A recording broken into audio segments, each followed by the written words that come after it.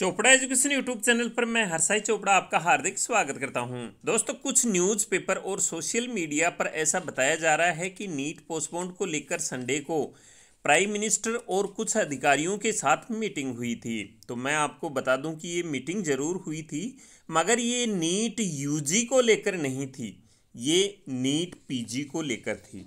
इसमें ये डिसीज़न हुआ था कि नीट पीजी की एग्ज़ाम चार महीने के लिए पोस्टपोन कर दी गई है। ये ऐसा इसलिए किया गया है कि देश में इस समय चल रहे हालात को सुधारने के लिए एमबीबीएस डॉक्टर्स की अवेलेबिलिटी ज़रूरी है। मैं आपको बता दूँ कि ये एग्ज़ाम अप्रैल में होनी थी और एक स्टेट ने तो अप्रैल में ही डॉक्टर्स को नीट पीजी एग्ज़ाम देने के लिए लीव देने से मना भी कर दिया था। तो एमबीबीएस डॉक्टर्स की अवेलेबिलिटी के लिए नीट पीजी का एग्ज़ाम चार महीने के लिए ये पोस्टपोन किया गया है। अभी बात करें नीट यूजी की तो अभी तक ये एक अगस्त को ही होना तय है। दोस्तों, फ्यूचर का कभी भी मालूम नहीं चलता है। आगे क्या हो सकता है? ऐसा भी हो सकता है कि सिचुएशन ठीक हो जाए, सभी जल्दी जल्दी एग्ज़ाम होकर नीट का एग्ज़ाम एक अगस्त को ही हो। हो सकता है ऐसा, ऐसी कोई बड़ी बात नहीं है। हमने पहले भी देखा है ऐसा। और ऐसा भी हो सकता है कि पोस्टपोन्ड भी हो जाए।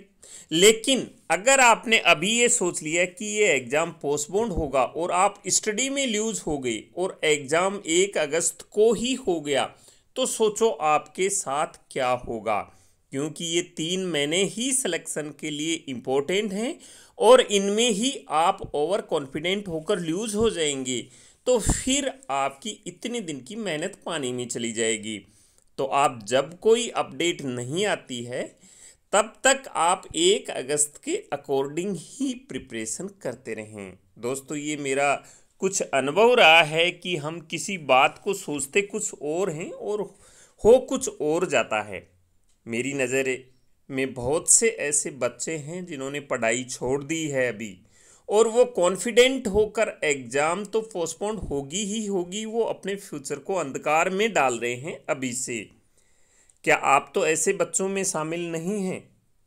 एक बच्चे से मैं मिला, उसने तो मेरे को पूरा कॉन्फिडेंस होकर यह बता दिया कि कब बोर्ड के एग्ज़ाम होंगे, कब नीट का एग्ज़ाम होगा पोस्टपोन क्यों होगा? ये पूरा का पूरा कैलकुलेट उसने पूरा शेड्यूल बना रखा है। पूरा का पूरा उसने मेरे को समझा दिया कि ऐसे ऐसे नीट का एग्ज़ाम तो हो ही नहीं सकता एक अगस्त को। ऐसे बहुत से बच्चे हैं जो स्टडी छोड़ चुके हैं। अगर आप भी उन बच्चों में शामिल नहीं हैं तो इस बात का आप फ़ायदा ले सकते हैं। मैं क्या कहना चाहता हूँ? आप समझ गए होंगे। इस समय आपको एक अगस्त के अकॉर्डिंग आप स्टडी करेंगे तो आपको बहुत फ़ायदा होगा। मैं वीडियो के अंत में आपसे यही कहना चाहूँगा कि आप अपने दिमाग से, दिमाग में एक अगस्त का एग्ज़ाम लेकर ही चलें, इसी के अकॉर्डिंग ही प्रिपरेशन करें। मैं आपको एक बात यहाँ वादे के साथ कह सकता हूँ कि जो बच्चा नीट एग्ज़ाम एक अगस्त के अकॉर्डिंग प्रिपरेशन करेगा, और वह हमेशा ही फ़ायदे में रहेगा, चाहे नीट एग्ज़ाम पोस्टपोन्ड हो या न हो। अगर पोस्टपोन्ड होगी तो भी उसको फ़ायदा होगा और पोस्टपोन नहीं होगी तो भी उसको फ़ायदा होगा। आप खुद समझदार हैं, आपका ज़्यादा समय न लेते हुए बस मैं इस वीडियो को यहीं एंड करना चाहूँगा। इधर उधर की फालतू न्यूज़ पर ध्यान न दें एक अगस्त के अकॉर्डिंग ही नीट यूजी की तैयारी करें।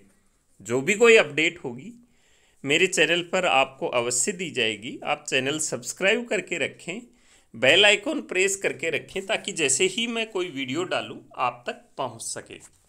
तो दोस्तों, ये एक छोटी सी जानकारी थी। मिलेंगे नए अपडेट के साथ नए वीडियो में। तब तक के लिए जय हिंद।